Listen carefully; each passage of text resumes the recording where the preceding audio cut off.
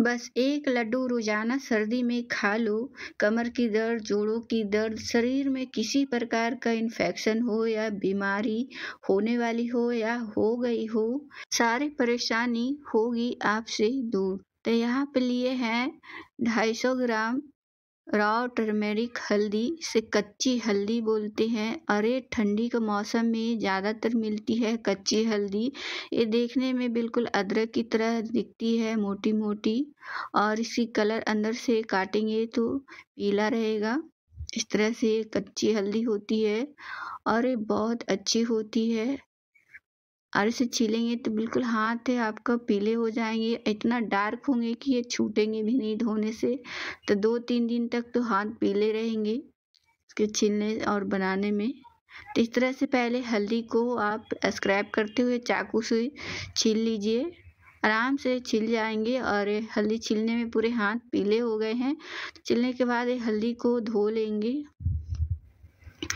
जितने भी इसमें छिलके लगे होंगे वो धुल जाएँगे।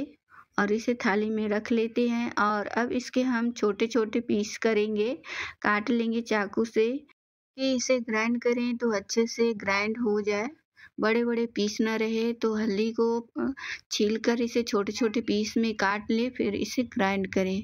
बड़े बड़े आप इसे ग्राइंड करिएगा तो अच्छे से पीसेंगे नहीं छोटे छोटे गुठली रह जाएँगे। तो इसे अब हम जार में डालकर इसे दो से तीन बार बैच में इसे हम पीस लेंगे। और हल्का सा पानी डालेंगे, ज़्यादा पानी नहीं डालेंगे क्योंकि इसमें भी पानी रहता है। तो दो से तीन चम्मच पानी डालेंगे और इसे चलाते हुए हम इसे ग्राइंड कर लेंगे। बिल्कुल बारीक इस तरह से चिकना हो जाना चाहिए, देखिए। और जो छोटे छोटे एक आध दो पीस रह भी गए हैं तो इसे दोबारा डालकर इसे पीस लेंगे हल्दी को। तो हमने सारे हल्दी को पीस लिया है, जार को धोकर डाल देंगे साथ में पानी। अब चलते हैं गैस की तरफ़ तो यहाँ गैस पे कढ़ाई रखा है गर्म होने के लिए। हाई फ्लेम पर गैस को गर्म कर लिया है और चार से पाँच चम्मच देसी घी डालेंगे। और ये लड्डू ना देसी घी में ही बनती है तो अच्छा बनता है और ज़्यादा यमी लगेगा। और सारे कच्ची हल्दी पिसा हुआ वो डाल देंगे घी में। और जब हल्दी डाले तो गैस लो टू मीडियम कर दे तो हाई पे डालेंगे तो ज़्यादा ही इसके छींटे पड़ेंगे तो लो कर कर हल्दी डालें और फिर हाई कर दें। और इसे चलाते हुए भूनेंगे हल्दी को लाल होने तक। तो हल्दी को मेन यहाँ पे भुनाई करना है, हल्दी को अच्छी तरह से भूने लाल होने तक। अगर अच्छे से हल्दी भूनेंगे नहीं तो हल्दी, इसकी लड्डू कड़वा लगेगी खाने में। तो हल्दी को कम से कम आप चालीस से पैंतालीस मिनट भूनें और यहाँ पे कुछ ड्राई फ्रूट्स लिए हैं। जिससे लड्डू बनेगी तो और हेल्दी बनेगी। तो यहाँ पे बादाम लिया है और गोंद लिया है। ठंडी में गोंद खाना चाहिए और काजू लिए है। आप अपनी पसंद से ड्राई फ्रूट्स और भी डाल सकते हैं। पिस्ता, अखरोट और मखाना लिया है एक बॉल तो सारे जो लिए हैं बराबर मात्रा में लिए हैं। तो अब यहाँ पे कढ़ाई रखेंगे और उसमें एक चम्मच देसी घी डालेंगे और सबसे पहले मखाना को हम इसमें रोस्ट करेंगे घी के साथ। इसे चलाते हुए क्रिस्प होने तक मखाने को दो से तीन मिनट तक भूनेंगे। मखाने अच्छे से क्रिस्प हो जाए, इस तरह से टूटने लगे तो समझ के मखाने क्रिस्प हो गए हैं। तो इसे हम अलग प्लेट में निकाल लेते हैं। इसे ज़्यादा नहीं करना है तो जल जाएँगे और मखाने कड़वे हो जाएँगे। और एक दो चम्मच डालेंगे, फिर से इसमें घी कढ़ाई में और इसमें डाल देंगे बादाम, काजू। अगर और भी आप इसमें ड्राई फ्रूट्स ऐड करना चाहते हैं तो और ऐड कर सकते हैं इसमें अपना पसंद से। और इधर हल्दी भी जले नहीं इससे चला लेंगे। तो ये यहाँ पे बादाम और काजू भून गए हैं, इसे ज़्यादा नहीं भूनना है तो कड़वे हो जाएँगे, इसे निकाल लेते हैं और इसी कढ़ाई में एक चम्मच घी डालेंगे और किशमिश थोड़ी सी ली है मैंने और साथ में हल्का सा इसे भून लेंगे।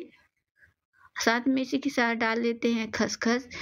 की छोटी चीज़ें इसे बाहर निकालने में तो मुश्किल होता है। साथ में इसी तरह से भून लेते हैं, एक साथ भून जाएँगे, इसे निकाल लेते हैं और अब इसमें डाल देंगे दो से तीन चम्मच घी और इसे अब हम इसमें गोंद फ्राई करेंगे।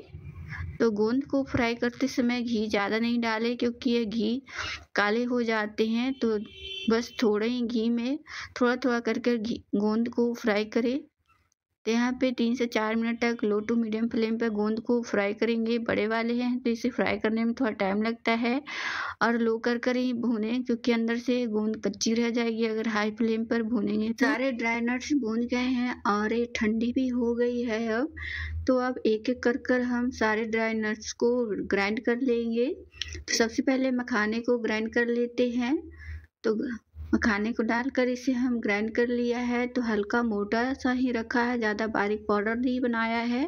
और लड्डू में हल्का मोटा ही अच्छा लगता है। और अब बादाम और काजू को भी ग्राइंड कर लेते हैं डालकर। तो इसी के साथ निकाल लेते हैं प्लेट में। तो घी की वजह से हल्का सा चिपक गया है जार में तो इसे स्पून से निकाल लेते हैं। और इस तरह से देखिए, न ज़्यादा बारीक है, न ज़्यादा मोटा है। तो लड्डू में बहुत यमी लगता है, इस तरह से बनाएँगे तो। और अब गोंद को भी हल्का सा क्रश कर लेते हैं पल्स मोड पर। अगर आप इस गोंद को छोटे छोटे पीस में या अगर आपको खाना लड्डू में पसंद है तो आप इसे बेलन से या पोटैटो मैसर से आप इसे क्रश करके गोंद, लड्डू में डालें, गोंद को तो हम इसे पल्स मोड पर चला लिया है और अब हल्दी भी भूंज गई है। लाल हो गई है, भूनते हुए तो इसे हम कटोरी में निकाल लेते हैं और इसमें दो चम्मच घी डालेंगे और अब गुड़ डाल देंगे। गुड़ को छोटे छोटे टुकड़े में तोड़ कर लिया है ताकि जल्दी से मेल्ट हो जाए। और ये जो गुड़ लिए हैं, चार लड्डू को हम छोटे छोटे टुकड़े में तोड़ लिया है। जो लड्डू बनी हुई भेली आती है, हम लोग तरफ़ लड्डू को भेली बोलते हैं। तो इसे हम चार चार लड्डू को हम तोड़ लिया है छोटे छोटे में ताकि जल्दी से मेल्ट हो जाए। तो गुड़ मेल्ट हो गई है।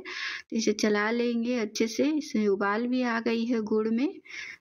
तो चलाते रहेंगे ताकि गुड़ में अच्छे से शाइनिंग आ जाए। और अब हल्दी डाल देंगे भून कर जो निकाल कर रखे थे, हल्दी को डालकर इसे हम दो से तीन मिनट तक हल्दी और गुड़ को पकाएँगे। इसे अच्छे से लड्डू में टेस्ट आता है।